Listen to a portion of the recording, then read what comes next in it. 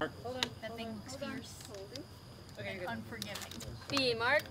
side, so you're kind of right above the tube, but it reads as directly above. Yeah. Yeah, yeah. I first became part of Lisa Frankenstein when I had a meeting with our director, Zelda. And we just had a general Zoom after I read the script, and I just, I didn't even see myself in the role. Like, I had no idea how to approach this character. It felt like a no brainer, and it also felt like something that I was so scared of. And Zelda just made me feel like she wanted to do something, she wanted to bring back the unreal reality.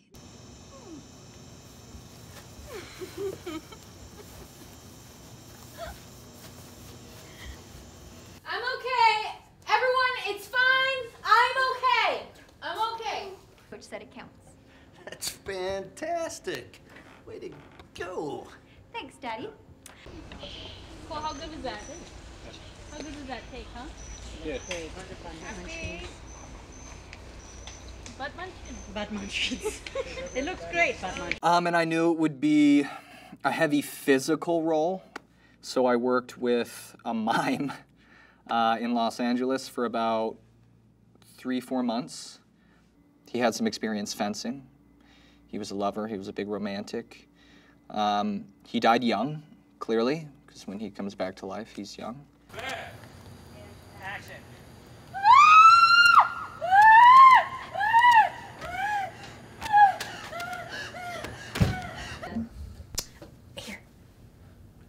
Whoa.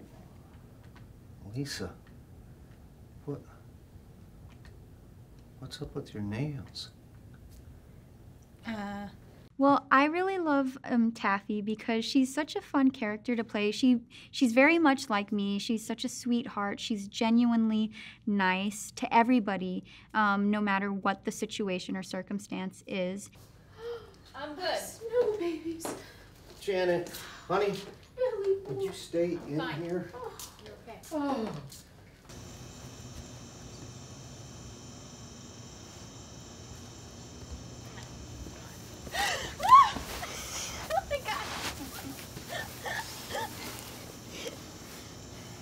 Janet lives in Janet's world, for sure. Not a single other person's personality is in one iota of it. It is all Janet. But it inspired me uh, sort of to run with Janet in the sense that she has created and curated a perfect world and a perfect family in her mind, and she cannot imagine how Lisa would not want to be a part of it. How am I going to serve some Sambuca? Wait, what? An invasion? Did you call the police? No. Pointing at you. And then you close the door. And you kind of go up to him and then you whack him. We'll, we'll have Chelsea walk you guys through that because there's going to be Gotcha. You got. Yeah, the sprinklers would have come on, but it's fine. Don't turn them on, please. And then you'll go that way. Yeah, so you go to the door now. I have really enjoyed working with Zelda. I hope that we get to create something again because I trust her and she's fun and cool. And that's really all you want is someone you can just trust. And I am really um, throwing myself down on this movie. I am doing some crazy stuff, like just embarrassing things that you have to know are going to be okay. And action. Guys, I finally got my standing back tuck.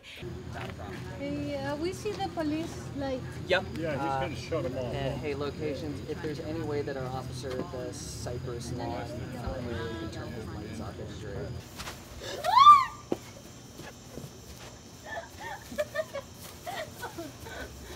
I found out that my friend was attached to direct, Zelda.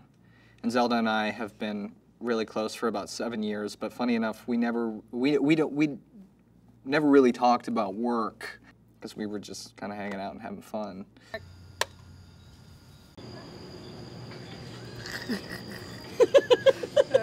I think that works great. I think we're good. And we're gonna do one where he doesn't do anything, and then there's one where he's actually gonna reach up from the ground like, hey, and then you whack down again, like the bug didn't die. Yeah, that's great. Basically, it's we're cheating that you're basically in the middle of that. That's what camera is. Right. They grew up in different households, different upbringings, and are two completely different people. But the way that it is showcased or presented in the movie is in a very one dimensional way where like you have like the popular cool sister that everybody sees as perfect and then you have like the nerdy quiet sister who everybody thinks is like a bit of a, a nuisance No, little chubby. Well, there was a home invasion, and uh, he tried to take everything in the china cabinet, but I fought him off.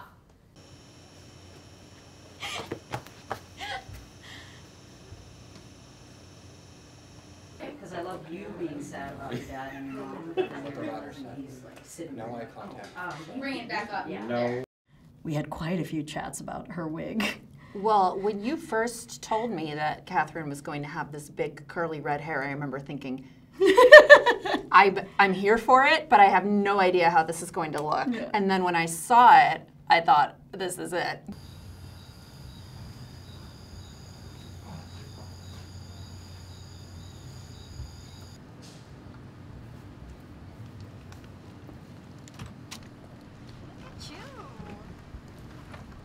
It was a little off the cheese map, but still, coach said it counts. Oh, that's fantastic. Way to Daddy. go. I gotta go call my mom. One of the things that I, I think this movie has is it pays homage to so many uh, fun things in the 80s. So if you were around in the 80s, um, there'll just be a lot of hilarious moments. You're, you're telling me there was a man in, in here, uh, in the house. Describe the man. Well, he was in disguise, so he had on a. I think it would be nice if you did like that bit of a course. Uh,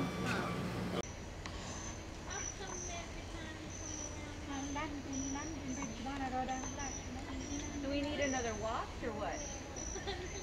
It looks good now. Great, here we go. I mean, I really appreciate Diablo's voice. I think her voice is really, really evident within her writing, especially in her humor. It's very forward, it's deeply comedic, but it's really her voice that that I love about the work that she does.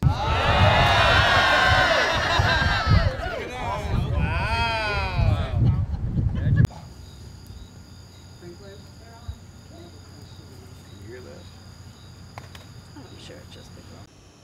No, I'm not doing that.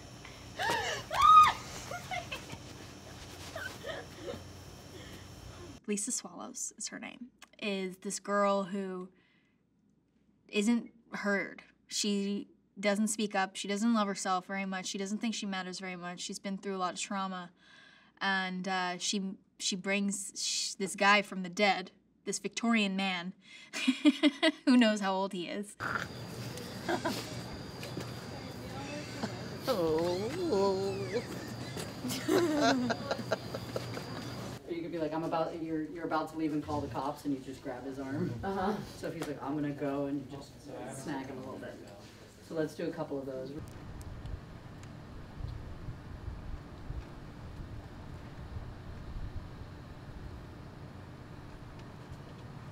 Taffy gets clearly sees like she clearly understands what Lisa's been through, and she she's very empathetic about that. Um, but Lisa has gone through so much that I feel like she's kind of just shut herself out from the world and is not welcoming of anybody that wants to, you know, really be there for her.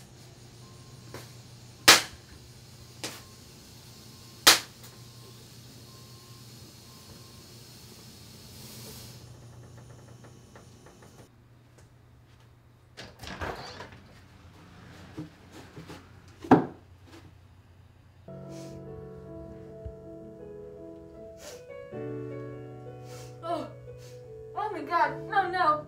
Are you crying? I have always been fascinated by the Frankenstein story. You know, when I was growing up in the 80s, there were some sort of modern takes on the Frankenstein story, like Weird Science, but they always seem to be told from the male perspective. You know, what if a man could create, you know, the perfect woman?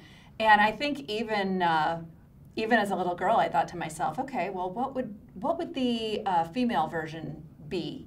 Come check out this whip. Yeah. So here we have Taffy's bar. Watch your head. I'm watching my head. We got like a little bobblehead guy in there. The scream was the most genuine part. it's a good way to spend a Friday evening. It's so funny. That's good. And that would be where? Of the, it's him, the invasion, so it's Okay. right off the top of secret, is not secret invasion. It's a secret But an invasion. Yeah. There was a secret invasion. There was a secret invasion. is finally heard for the first time. It changes everything about her. The fact that someone listens. I always pictured Lisa as this like girl who like man repeller vibes, like has no sense of style, comfort over cute, like cute, just be comfortable grandma, and probably wears a lot of her mom's clothes because sh- she misses her mother.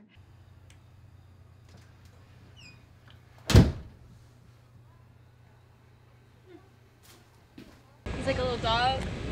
And then in the back we have palm trees. Don't know why. Welcome to 1989. even though Taffy is constantly trying to show her that it's just hard to break through because she just feels like everybody's out to get her or everybody just doesn't understand her. Um, and that's what makes it so magical, I think, because it's very realistic, I would say. No!